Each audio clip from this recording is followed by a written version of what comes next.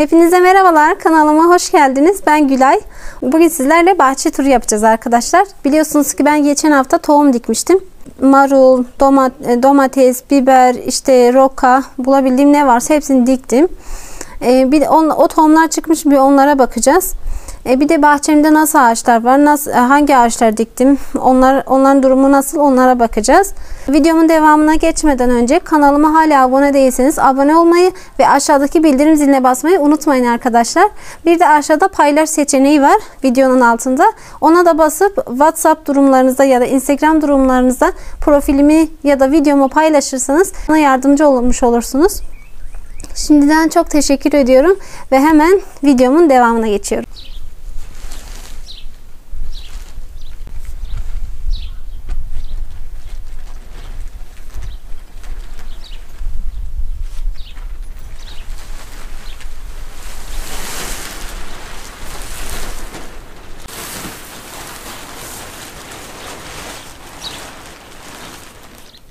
Normalde ilk gün bunlar yoktu. Bunlar elektrik boruları. Ee, daha az maliyetli olduğu için bunları yaptık. Hmm, Demir normalde demir kullanıyorlar. Böyle kalın bir demiri bükerek her sene kullanabilirsiniz yani. Bunu da ku- kullanabilirsiniz. Ama bu daha az ömürlü oluyor. Şöyle ortaya da bir e, şöyle bir yük- yükselte koyduk ki dengede dursun naylon. Çünkü çok fazla rüzgar esiyor. Yağmur yağıyor. Onlardan korumak için bu şekilde yapıyorsunuz. Şuradaki eğrilmiş. Ee, şimdi buraya sırasıyla ne dikmiştim? Onları göstereyim. Geçen haftaki videomdan bakabilirsiniz. Tohumlarımı diktiğim video. Ee, şimdi burada maydanoz dikmiştim buraya. Ama maydanozdan çok ot çıkmış. Buraya tere dikmiştim. Terem çıkmış. Zaten tere çıkar yani. Terenin tohumu çok kuvvetli diktiğiniz anda çıkar. Buraya ben e, pa- şey pazı dikmiştim. Pazı geçen sene de diktim olmadı. Bu sene de diktim çıkmadı. Niye bilmiyorum. Belki aldığım tohumdan kaynaklı olabilir. Ben de pazı tohumum elimde olmadığı için buraya patlıcan diktim. Patlıcan tohumu. Ee, onu da dün diktim zaten. Buraya ne dikmiştim ya? Bu herhalde bu şeydi. Hmm, rokaydı. Evet bu roka arkadaşlar.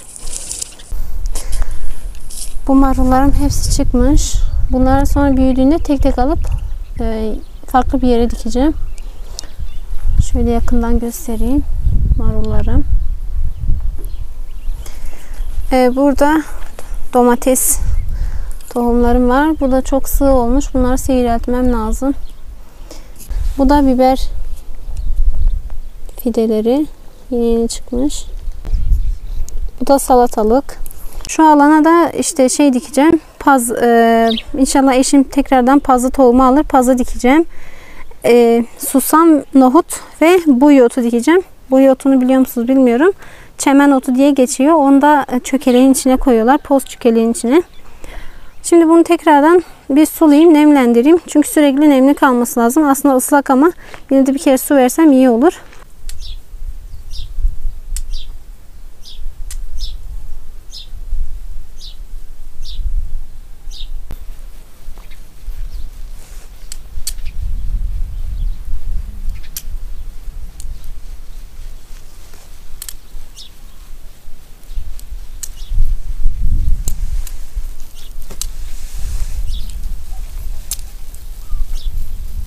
Burası arkadaşlar böyle düz değildi. Aynen şurası gibiydi. Ben de buraya böyle kazdım. Çiçek falan diktim. Şurada bir tane asmamız var. Onu geçen sene diktik. Şurada yine bir asmamız var. Buraya geçen sene bir defne ağacı diktim ama kurudu. Çünkü defne ağaçları e, rüzgarı hiç sevmezmiş. E, kurudu maalesef. Burada nar ağacımız var. Bu da yeni yeni yapraklarını açmaya başladı. Burada bir kayısı ağacımız var yine. Bunu da geçen sene dikmiştik. Bunu da geçen sene diktiğimiz bir asmamız. Şuradan su geliyor. Normalde e, su gelmeseydi şöyle birleştirecektim ama tarla suyunu şuradan bıraktığımız için orayı kapatamadım. Orayı değerlendiremedim. Şöyle çiçeklerimi dikiyorum. Burası benim evim. Şöyle çamaşır serdim sabah. Ee, şu anda saat 9.30 olmalı. Öyle bir şey. Şöyle gidelim. Bu el, elma ağacı arkadaşlar bu iki senedir burada fazla gelişmemiş. Yani bu sene daha böyle yerini sevdi. Ee, burada bir asmam var. Bunu da ben dikmiştim. Bu da ahududu. Bunu da geçen sene mi dikmiştim? Yok önceki sene dikmiştim. Şöyle küçük bir iskele yaptık. Ee, bu bayağı böyle büyüyor. Hem diğer ağaçlar rahatsız etmesin hem de meyvesini daha kolay güzel toplayalım diye. Böyle bir şey düşündük. Bu erik ağacımız. Erik miydi ya? Tanıyamadım. Galiba erik. Yine şurada güllerim var. Bunları budadım. Etrafında kazdık. Bunu getirdim buraya diktim. Buna biraz daha büyüdüğünde kiraz aşısı vuracağız ve bunu başka bir yere götüreceğiz. Başka bir e, tarlaya dikeceğiz. Burada da yine gülüm var. Sarı gülüm. Bu kiraz ağacı. Bunu geçen sene diktik. Burada yine asmamız var. Ee, burada da gülüm var. Yine güllerim. Şöyle etrafı da sizlere göstereyim. Yukarıda bir köy daha var arkadaşlar. Ee, şurası köyün yolu. Bura benim görümcemin evi. Burası tütün iskelesi arkadaşlar. Şu gördüğünüz yapı tütün asıyoruz. Tütün kurutuyoruz onlarda. Bu da vişne ağacı galiba. Evet bu vişne ağacımız. Arı gelmiş. Çiçek özü topluyor. Bakın. Bayağı dalmış. Bizi fark etmedi.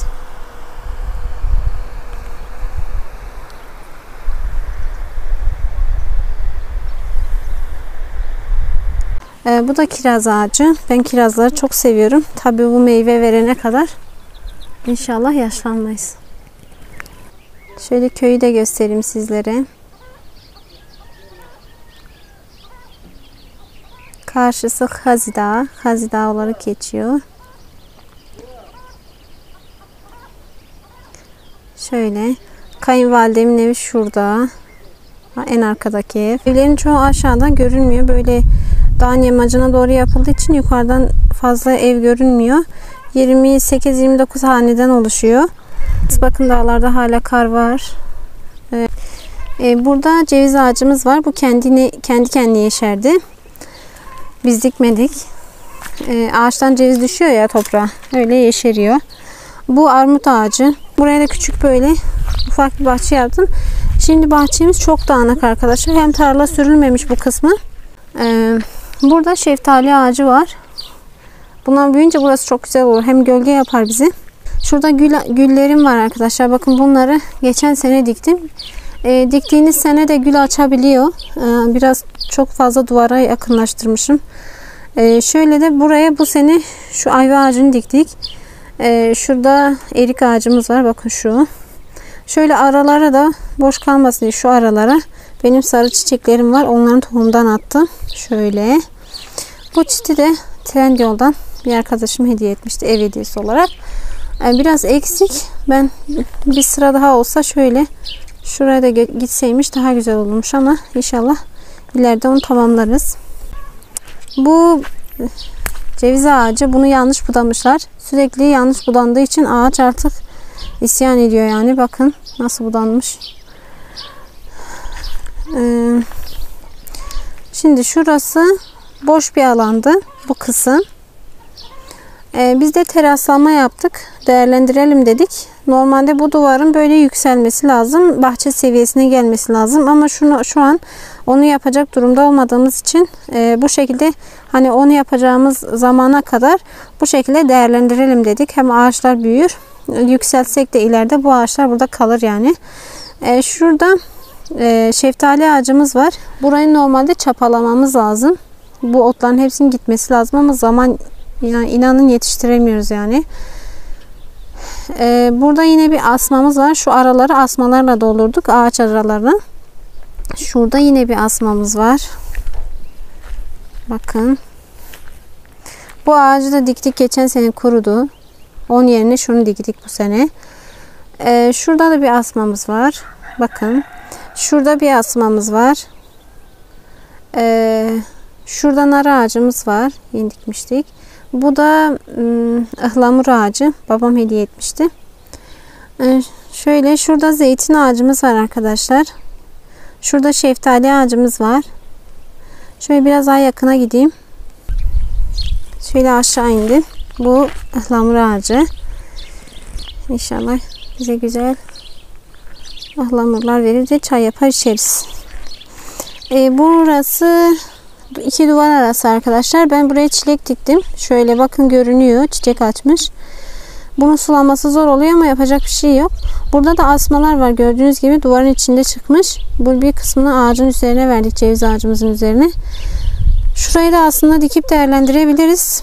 Ama fırsat bulamıyoruz. Oralar, oralar için de bir şeyler düşünüyorum. Şu, şu kısım için. Burada yine bir zeytin ağacımız var. Bu sene rüzgardan dolayı biraz yıprandı. Ee, bu asmalar için de buraya bir iskele yapmamız gerekiyor. Şu şekilde. Şu şekilde bir iskele yapacağız ki e, hem üzümünü iyi versin. Çünkü burada kendi ağaçların üzerine atıyor. Ağacı boğuyor. İkisi de erik ağacı. Aşağıda bu kayısı ağacımız. Bu zeytin ağacı en sevdiğim ağaçlardan bir tanesi. Canım benim. Adıyaman'da zeytin de yetişiyor arkadaşlar. Yabani incirlerimiz var. Bunlar yabani arkadaşlar. Aşılanması lazım. Ben aşı vurmuştum bir tanesine. Tutmuştu. Bakayım nerede benim aşım. Heh burada bakın. Bu dal aşılı arkadaşlar. Şu bakın. Aşı olduğu zaten belli oluyor. Bu hurma ağacımız. Böyle yine ağaçlar yeni yaprak açınca böyle parlıyor ya. Böyle çok hoşuma gidiyor o görüntü. Burası benim çileklerim. Geçen haftalarda çilek dikmiştim. Aslında benim çileklerim var. Ama ben çoğalsınlar istiyorum. Şu gördüğünüz alan var ya. Fazla olanlarını oraya diktim ki böyle kendini şuraya kazdığımız zaman temizleyeceğiz orayı. Normalde otlu olmaması lazım. Orayı kazdığımızda çilekler kendini aşağı bıraksın istedim. Boş alanları hem değerlendirmiş oluruz. Gerçi boş alan bırakmadık ama Şimdi bunlar da çiçek açtılar. Bir ay sonra meyvesini yiyeceğiz inşallah. Burada nanemiz var arkadaşlar. Ee, bu yeşil nane narpuz değil. Na, bizde iki çeşit oluyor. Biri narpuz o dağda yetişiyor. Dağlarda, tarlalarda. Bir de ev, evde yetiştirdiğiniz kendi bahçenizde bu kök, kök her sene kendi kendine oluyor. Tekrar dikmenize gerek yok. Bilmeyenler için söylüyorum. Şuradan bir ses geliyor da. Bir şey geliyordu oradan. Ne geliyor bilmiyorum. Kaplumbağalar kesin. Ha kaplumbağaymış. Bak size göstereyim. Tanışalım mı? Ben bu evde oturuyorum. Evet sen hani yazın gelip benim sebzelerimi yiyorsun ya. Hatırladın mı? Bu galiba dişi. Niye bilmiyorum ama öyle hissettim. Gel gel gel. Gideceksin mi? Hmm, gideceksin.